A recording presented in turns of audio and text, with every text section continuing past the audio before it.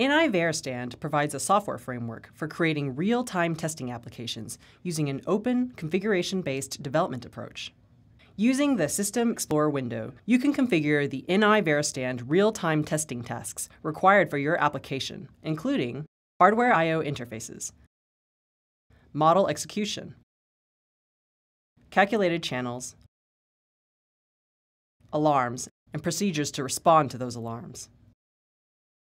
Once complete, deploy the system definition and use the NI Veristand workspace to quickly create a runtime user interface for your system definition. This system definition is runtime editable and includes a variety of ready-to-use tools for interacting with your real-time test application. For deterministic stimulus generation and data logging, use one of the stimulus profile editors to configure and deploy real-time test profiles.